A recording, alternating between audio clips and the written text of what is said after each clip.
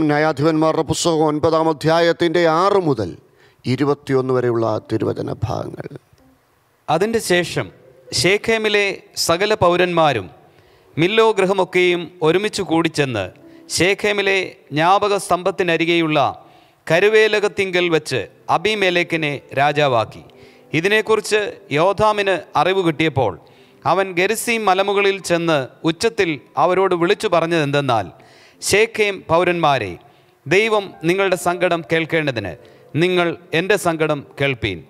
പണ്ടൊരിക്കൽ വൃക്ഷങ്ങൾ തങ്ങൾക്കൊരു രാജാവിനെ അഭിഷേകം ചെയ്യുവാൻ പോയി. അവ ഒലിവ് വൃക്ഷത്തോട് നീ ഞങ്ങൾക്ക് രാജാവായിരിക്ക എന്ന് പറഞ്ഞു. അതിന് ഒലിവ് വൃക്ഷം ദൈവവും മനുഷ്യരും എന്നെ പുകഴ്ത്തുവാൻ ഹേതുവായിരിക്കുന്ന എന്റെ പുഷ്ടി ഞാൻ ഉപേക്ഷിച്ച് വൃക്ഷങ്ങളുടെ മേൽ ആടുവാൻ പോകുമോ എന്ന് പറഞ്ഞു. പിന്നെ വൃക്ഷങ്ങൾ അത്തിവൃക്ഷത്തോട് നീ വന്ന് ഞങ്ങൾക്ക് രാജാവായിരിക്ക എന്ന് പറഞ്ഞു. അതിന് അത്തിവൃക്ഷം എന്റെ മധുരവും വിശേഷപ്പെട്ട പഴവും ഞാൻ ഉപേക്ഷിച്ച് വൃക്ഷങ്ങളുടെ മേൽ ആടുവാൻ പോകുമോ എന്ന് പറഞ്ഞു. പിന്നെ വൃക്ഷങ്ങൾ മുന്തിരിവള്ളിയോട് നീ വന്ന് ഞങ്ങൾക്ക് രാജാവായിരിക്ക എന്ന് പറഞ്ഞു. മുന്തിരിവള്ളി അവയോട് ദൈവത്തെയും മനുഷ്യനെയും ആനന്ദിപ്പിക്കുന്ന എന്റെ രസം ഞാൻ ഉപേക്ഷിച്ച് വൃക്ഷങ്ങളുടെ മേൽ ആടുവാൻ പോകുമോ എന്ന് പറഞ്ഞു. പിന്നെ വൃക്ഷങ്ങളെല്ലാം കൂടെ മുൾപ്പടർപ്പിനോട് നീ വന്ന് ഞങ്ങൾക്ക് രാജാവായിരിക്ക എന്ന് പറഞ്ഞു. മുൾപ്പടർപ്പ് വൃക്ഷങ്ങളോട് നിങ്ങൾ യഥാർത്ഥമായി എന്നെ നിങ്ങൾക്ക് രാജാവായി അഭിഷേകം ചെയ്യുന്നുവെങ്കിൽ വന്ന് എന്റെ നിഴലിൽ ആശ്രയിപ്പീൻ. അല്ലെങ്കിൽ മുൾപ്പടർപ്പിൽ നിന്ന് തീ പുറപ്പെട്ട് ലബാനോനിലെ ദേവദാരുക്കളെ ദഹിപ്പിക്കട്ടെ എന്ന് പറഞ്ഞു. നിങ്ങൾ ഇപ്പോൾ അബിമേലേക്കിനെ രാജാവാക്കിയതിൽ വിശ്വസ്തതയും പരമാർത്ഥതയുമാകുന്നുവോ പ്രവർത്തിച്ചത്? നിങ്ങൾ എരുബാലിനോടും അവന്റെ കുടുംബത്തോടും നന്മയാകുന്നുവോ ചെയ്തത്? അവന്റെ പ്രവൃത്തിയുടെ യോഗ്യതയ്ക്ക് തക്കവണ്ണമോ അവനോട് പ്രവർത്തിച്ചത്? എന്റെ അപ്പൻ തന്റെ ജീവനെ ഗണ്യമാക്കാതെ നിങ്ങൾക്ക് വേണ്ടി യുദ്ധം ചെയ്ത് മിഥ്യാന്റെ കയ്യിൽ നിന്ന് നിങ്ങളെ രക്ഷിച്ചിരിക്കെ. നിങ്ങൾ ഇന്ന് എന്റെ അപ്പന്റെ ഗൃഹത്തിന് വിരോധമായി എഴുന്നേറ്റ് അവന്റെ പുത്രന്മാരായ എഴുപത് പേരെയും ഒരു കല്ലിന്മേൽ വെച്ച് കൊല്ലുകയും അവന്റെ ദാസിയുടെ മകനായ അബിമേലേക്ക് നിങ്ങളുടെ സഹോദരൻ ആയിരിക്കൊണ്ട് അവനെ ശേഖയും പൗരന്മാർക്ക് രാജാവാക്കുകയും ചെയ്തുവല്ലോ. ഇങ്ങനെ നിങ്ങൾ ഇന്ന് എരുബാലിനോടും അവന്റെ കുടുംബത്തോടും ചെയ്ത് ചെയ്തത് വിശ്വസ്തതയും പരമാർത്ഥതയും എന്ന് വരികിൽ നിങ്ങൾ അബിമേലേക്കിൽ സന്തോഷിപ്പീൻ. അവൻ നിങ്ങളിലും സന്തോഷിക്കട്ടെ. അല്ലെങ്കിൽ അബിമേലേക്കിൽ നിന്ന് തീ പുറപ്പെട്ട് ശേഖയും പൗരന്മാരെയും മില്ലോ ഗൃഹത്തെയും ദഹിപ്പിക്കട്ടെ. ശേഖയും പൗരന്മാരിൽ നിന്നും മില്ലോ ഗൃഹ ഗൃഹത്തിൽ നിന്നും തീ പുറപ്പെട്ട് അബീമേലേക്കിനെയും ദഹിപ്പിക്കട്ടെ. ഇങ്ങനെ പറഞ്ഞിട്ട് യോധാം ഓടിപ്പോയി ബേറിലേക്ക് ചെന്ന് തന്റെ സഹോദരനായ അബീമേലേക്കിനെ പേടിച്ച് അവിടെ പാർത്തു. ഹാലലുയ. ഹാലലുയ. ഹാലലുയ. അനുഗ്രഹിതമായ തിരുവചനത്തിനായി ദൈവത്തിന് സ്തോത്രം ചെയ്യുന്നു. നമ്മൾ ന്യായാധിപന്മാരുടെ പുസ്തകത്തിൽ കേട്ടുകഴിവില്ലാത്ത ഒരു സംഭവമാണ് ഒൻപതാം അധ്യായത്തിൽ കണ്ടുകൊണ്ടിരിക്കുന്നത്. ന്യായാധിപന്മാരുടെ പുസ്തകത്തിന്റെ പ്രത്യേകത എന്ന് പറയുന്നത് തന്നെ ഇസ്രയേൽ ശത്രുക്കളുടെ കയ്യിൽ അകപ്പെടുകയും അവരനുഭവിക്കപ്പെട്ട പീഡകളുടെ നടുവിൽ ഇസ്രയേൽ ജനം ദൈവത്തോട് നിലവിളിക്കുകയൊക്കെ ചെയ്യുമ്പോൾ അവരെ വിടുവിക്കുവാനായിട്ട് അവരുടെ ഇടയിലേക്ക് ദൈവം അയക്കുന്ന രക്ഷകന്മാരുടെ ചരിത്രം. ഗിതയോനെ പോലെ ദബോരെ പോലെ ബാരാക്കിനെ പോലെയുള്ള രക്ഷകന്മാരുടെ ചരിത്രമാണ് ഇതുവരെയും നാം പഠിച്ചു വന്നത്. തുടർന്നും പഠിക്കുന്നത്. പക്ഷേ അതിൽ നിന്നൊക്കെ വ്യത്യസ്തമായ ഒരു അധ്യായം ഒൻപതാം അധ്യായം. ഒൻപതാം അധ്യായത്തിൽ നമുക്ക് കാണുവാൻ കഴിയുന്നത് ഗിതയോൻ എന്ന് പറയുന്ന എരുബായലിന്റെ എഴുപത് മക്കൾ അല്ലേ? അവരെ കൊന്നിട്ട് ദാസിയുടെ മകനായ അഭിമലേക്ക് രാജത്വം പിടിച്ചെടുക്കുക ദൈവത്തിന് സ്തോത്രം. ഒരർത്ഥത്തിൽ പറഞ്ഞാൽ ഈ അധ്യായത്തിൽ കാണാൻ പറ്റുന്നത് പാപം. പാപം എന്ന് പറഞ്ഞാൽ ഹട്ട എന്നൊരു വാക്കാണ് അതിന്റെ മൂലപദം. ഹട്ട എന്ന് പറഞ്ഞ വാക്കിന്റെ അർത്ഥം മിസ്സിങ് ദ മാർക്ക് വരതെറ്റിക്കുക. ഒരു പ്രമാണം ലംഘിച്ച് ദൈവത്തിന് സ്തോത്രം. ആ ദൈവഹിതത്തിന് വിരോധമായ ഇസ്രയേലിന്റെ രാജാവ് ദൈവമാണെന്നുള്ള ആ കൽപ്പനയ്ക്ക് വിരോധമായിട്ട് ഒരുവൻ രാജാവാകുന്നതിന്റെ ഒരു ചെറിയ ചിത്രം. പിന്നീട് വരാൻ പോകുന്ന ആ ദുരന്തങ്ങളെയൊക്കെ കൃത്യമായിട്ട് പഠിക്കാനാണെങ്കിൽ ഇവിടെ ഒന്ന് പഠിക്കാമായിരുന്നു സ്തോത്രം. അതിന്റെയൊക്കെ ഒരു മുന്നറിയിപ്പാണ് ഈ ഭാഗങ്ങളിൽ കാണുന്നത്. ദൈവത്തിന്റെ സ്തോത്രം. ഇവിടെ കാണുന്നത് രാജത്വം പിടിച്ചെടുക്കുക. എഴുപത് പേരെ കൊന്നിട്ട്. നേരായ മാർഗത്തിലല്ല ആദ്യം ചെയ്യുന്നത് ഒരു പക്ഷം പിടിക്കുക. സ്തോത്രം. താൻ എരുബാബേലിന്റെ അഥവാ ഗിതയോന്റെ മകനാണെങ്കിൽ പോലും. സ്തോത്രം. ഗിതയോന് മിശ്രൈമ ദാസിലുണ്ടായ മകന അല്ലേ?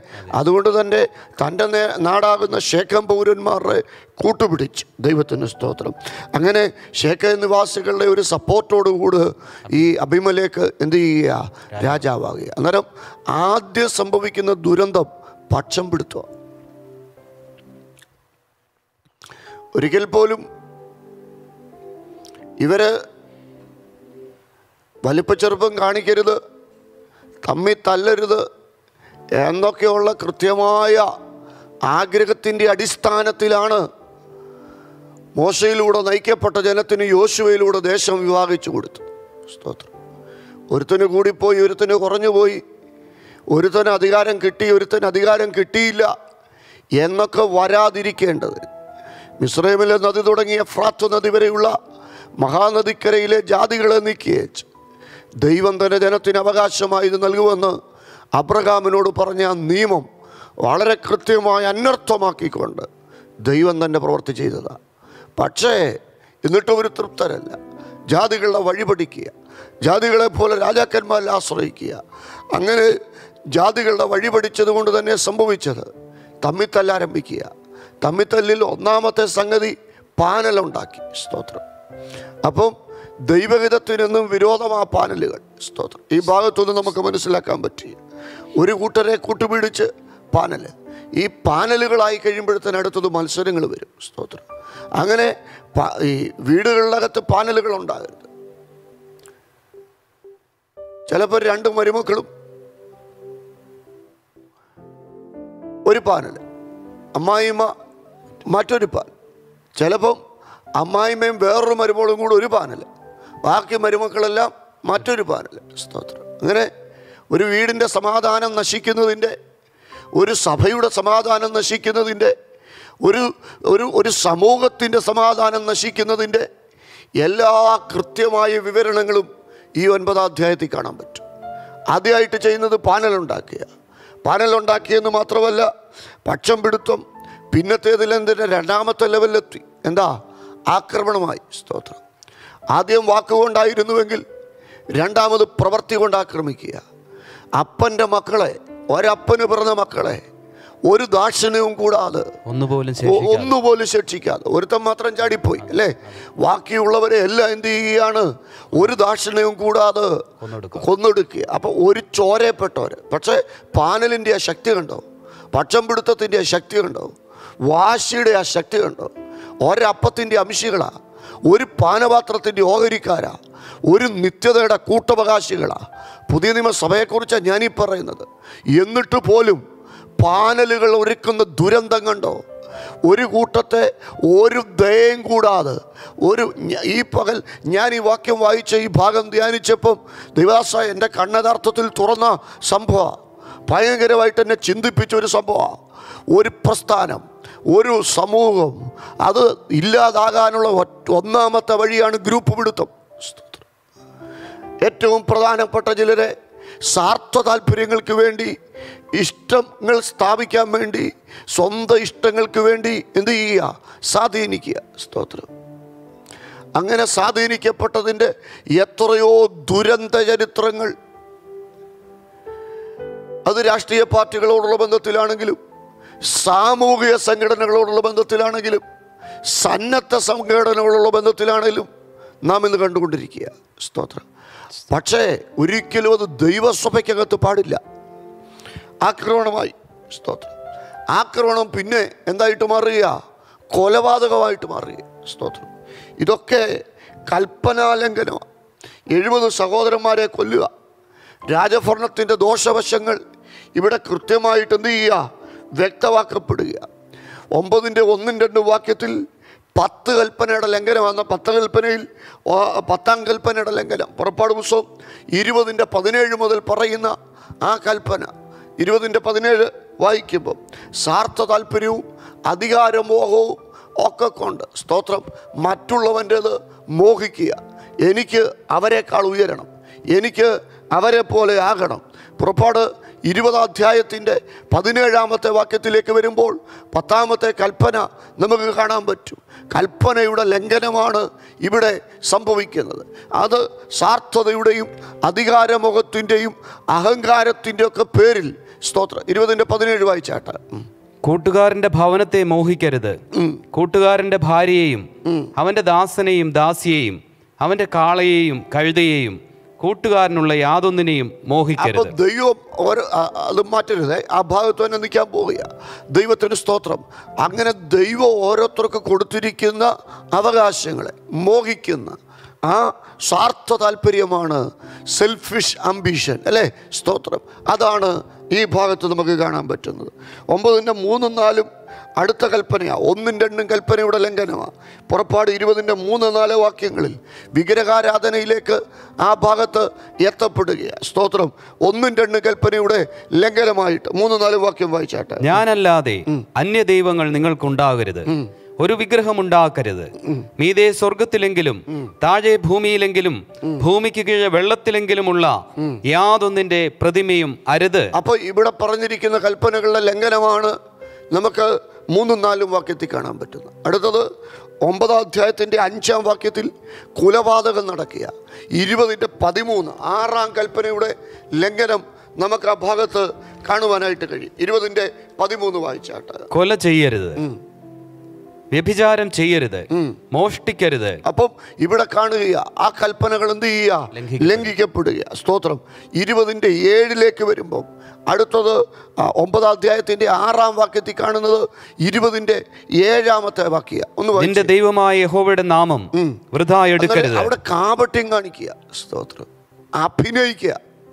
ഒമ്പതാം അധ്യായത്തിന്റെ ആറാം വാക്യത്തിൽ ഒരഭിനയമാണ് നടക്കൽ. സ്തോത്രം. ആ അഭിനയത്തിനെതിരെ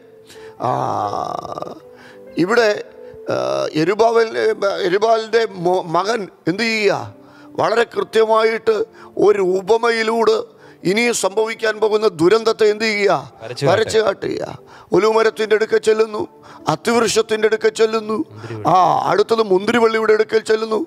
അവരൊക്കെ അതിനേക്കാൾ വിശേഷത അവരിൽ കാണുന്നത് കൊണ്ട് രാജത്വത്തെക്കാൾ ഇതാ ക്വാളിറ്റി ഉള്ളവരുടെ പ്രത്യേകത. ഇന്ന് നിത്യതയിൽ വിശ്രമിക്കുന്ന ഈ വഴിയെ കൂടെ യാത്ര ചെയ്ത് ഞാൻ എന്റെ നിത്യനാട്ടിലേക്ക് പോകുകയാണെന്ന് പറഞ്ഞ കർത്തൃദാസൻ ബില്ലി ഗ്രഹാം. അദ്ദേഹത്തിന്റെ അടുക്കൽ അമേരിക്കയുടെ ഒഫീഷ്യൽസ് വന്നെന്നാണ് പറയുന്നത്. ആ അമേരിക്കയുടെ ഏറ്റവും ഉന്നത പദവികൾ സ്വീകരിക്കുവാൻ. പക്ഷെ അദ്ദേഹം പറഞ്ഞു പോലും ഇന്ന് ചെയ്യുന്നതിനേക്കാൾ താഴ്ന്ന ഒരു ജോലിക്ക് ഞാൻ തയ്യാറല്ല. അപ്പം ദൈവം നമുക്ക് തന്നിരിക്കുന്ന മാന്യത ദൈവം നമ്മെ ഏൽപ്പിച്ചിരിക്കുന്ന കൃപ ദൈവം നമ്മെ ഏൽപ്പിച്ചിരി ഈ- മനുഷ്യനേൽപ്പിക്കുന്നതാണോ മനുഷ്യനെ വലുത് ദൈവം ഏൽപ്പിക്കുന്നതാണോ വലുത്? സ്വത്രം എത്രയോ പേർക്കില്ലാത്ത അനുഭവങ്ങളും അനുഗ്രഹങ്ങളും ദൈവം നമുക്ക് തന്നിരിക്കുമ്പോൾ മാനുഷികമായിട്ട് എന്തിനാ സാർത്ഥത കാണിക്കാൻ പോകുന്നത്? സ്തോത്രം. ദൈവം നമുക്ക് തന്നിരിക്കുന്ന എത്രയോ അനുഗ്രഹങ്ങളും കഴിവുകളും നാം ഇന്ന് കണ്ണു തുറക്കുന്നതും നാം ഇന്ന് സംസാരിക്കുന്നതും നാം ഇന്ന് നടക്കുന്നതും ഇതെല്ലാം ദൈവത്തിന്റെ കൃപയല്ലേ. ഇതൊക്കെ അനുഭവിക്കുവാൻ കഴിയാത്ത എത്രയോ പാപം പിടിച്ച മനുഷ്യരുള്ള ഭൂമിയിൽ അവിടുത്തെ കൃപ അനുഭവിക്കുന്നവരെ. സ്തോത്രം. ഊതിയാൽ പറക്കുന്ന പുക പോലെ വെള്ളത്തിൽ പൊട്ടുന്ന കുമിള പോലെ അങ്ങനൊക്കെ വരുന്ന ഈ അധികാരങ്ങളുടെയൊക്കെ പിന്നാലെ എന്തിനാ നാം സാർത്ഥത കാണിക്കും ആളാകാൻ വേണ്ടി ഞാൻ മിടുക്കനാന്ന് കാണിക്കാൻ വേണ്ടി എനിക്കൊരു സ്പേസ് ഉണ്ടാക്കാൻ വേണ്ടി. പ്രിയപ്പെട്ടവരെ ചെയ്യരുതേ. ദുരന്തമാണ് കാപട്യം. അടുത്തത് അഭിനയങ്ങൾ നടക്കുക. ഒന്ന് മനസ്സിൽ വെച്ചുകൊണ്ട് മറ്റൊന്നെന്ത് ചെയ്യുക? പ്രവർത്തിക്കുക. ഒടുവിൽ ഈ കെണിക്കകത്ത് വീണുപോയത് മുന്തിരിവള്ളിയാ. സ്തോത്രം. സോറി ഈ കെണിക്കകത്ത് വീണുപോയത് മുൾപ്പടർപ്പ അല്ലേ? മുൾപ്പടർപ്പ് ചെന്ന് പെട്ടത് അതിന്റെ സ്വഭാവം തന്നെ അത് പ്രകടമാക്കുക. അത് പറയുക. സ്തോത്രം. നിങ്ങൾ ഞാൻ പറയുന്നത് അനുസരിച്ചില്ലെങ്കിൽ എന്താ സംഭവിക്കാൻ പോകുന്നത്? ലെബാനോനിലെ വൃക്ഷങ്ങളെ ഞാൻ കത്തിക്കും. അഹങ്കാരം. ഏഴ് മുതൽ ഇരുപത്തിയൊന്ന് വരെയുള്ള വാക്യങ്ങളിൽ അതാ നമുക്ക് കാണുവാൻ കഴിയുന്നത്. ഒൻപതിന്റെ ഏഴ് മുതൽ ഇരുപത്തിയൊന്ന്. ഈ ദൈവഹിതമില്ലാത്ത അധികാരങ്ങളിൽ ചെന്നുപെട്ടാൽ അത് പിന്നത്തേതിൽ നമ്മൾ എവിടേക്ക് കൊണ്ടെത്തിക്കും? അഹങ്കാരത്തിലേക്ക് എത്തിക്കും. അഹങ്കാരം നാശത്തിന്റെ തുടക്കമാണ് സ്തോത്രം. അപ്പോൾ പ്രൈഡ്. ലബാനൂരിലെ ദേവദാരുക്കൾ എന്ന് പറയുന്നത് ശലോ ഉത്തമീതൊക്കെ പഠിക്കുമ്പോൾ കാണാൻ പറ്റും. ശലോമോൻ രാജാവ് ലബാനോനിലെ ദേവദാരു കൊണ്ട് തനിക്കൊരു പല്ലക്കുണ്ടാക്കി അപ്പം ഉന്നതമേറിയ അരമന പണിതതും തനിക്ക് ഉപയോഗ താൻ ഉപയോഗിക്കുന്ന കട്ടിലുകൾ ഉണ്ടാക്കിയതുമൊക്കെ ലബാനോനിലെ ദേവദാരു കൊണ്ടാണ് അത്രമാത്രം മഹത്വകരമായ അനുഭവങ്ങൾ ഉള്ള സ്ഥലത്തെ അപ്പം ഈ ദൈവഹിതമില്ലാത്ത അധികാരങ്ങളിൽ നാം എത്തപ്പെട്ടാൽ അത് നിമിത്തം ചിലർ മുറിയും. ഔന്നത്യമുള്ള ശ്രേഷ്ഠതയുള്ള മഹത്വമുള്ള ക്വാളിറ്റി അവർ ചിലപ്പം പ്രതികരിച്ചെന്ന് വരത്തില്ല. അവർ പുറമോട്ട് എന്ത് ചെയ്യും? മാറും. പക്ഷേ അത് സഭയ്ക്ക് ദുരന്തമാണ് അത് കുടുംബത്തിന് ദുരന്തമാണ് അതുകൊണ്ട് എന്റെ പൊന്നു പ്രിയപ്പെട്ടവരെ രാവിലെ ഇതിങ്ങനെ കയറി വന്നതുകൊണ്ട് ധ്യാനിച്ചപ്പം എന്റെ കണ്ണ് തുറന്നതുകൊണ്ട് വളരെ കൃത്യമായിട്ട് ഉറപ്പിക്കുക. ഒരുപക്ഷെ ഒരു ഇച്ചിരി കട്ടിയുള്ള വാക്കുകളായിട്ട് ഈ രാവിലെ തോന്നിയേക്കാം. അത് രാവിലെ ഇരിക്കുന്നവർക്ക് ദഹിക്കുന്ന ഒരു കാര്യമാണോ എന്ന് എനിക്കറിയത്തില്ല. പക്ഷേ ഒരു കാര്യം ഓർത്തോണം. ലഭിക്കേണ്ട ദൈവിക അനുഗ്രഹങ്ങളെ തടയുവാൻ നമ്മുടെ അഹങ്കാരവും നമ്മുടെ അധികാര കൊതിയും കാരണം ആകരുത്. അങ്ങനെ എവിടെയെങ്കിലുമൊക്കെ ദൈവഹിതമില്ലാത്ത ഏതെങ്കിലും പ്രവർത്തികൾ ജീവിതത്തിൽ വന്നിട്ടുണ്ടെങ്കിൽ അഭിമലേക്ക് ഒരു ദൃഷ്ടാന്തം. സ്തോത്രം. പ്രിയപ്പെട്ടവരെ സമർപ്പിക്കപ്പെടാം. ഒരു നിമിഷം കണ്ണുകളെ അടച്ചുകൊണ്ട് സഹോദരങ്ങളുടെ കൂടെ ചേർന്ന് പാടിക്കൊണ്ട് മുട്ടുകുത്തി ദൈവമുഖം നമുക്ക് അന്വേഷിക്കാം.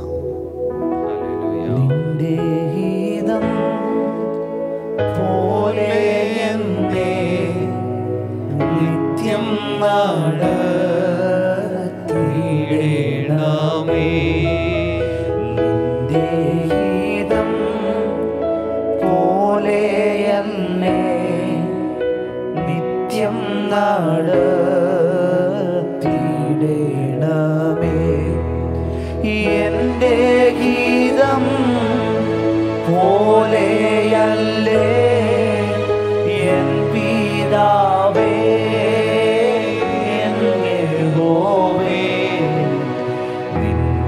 ഗീതം പോലെ എന്നെ നിത്യം നാട്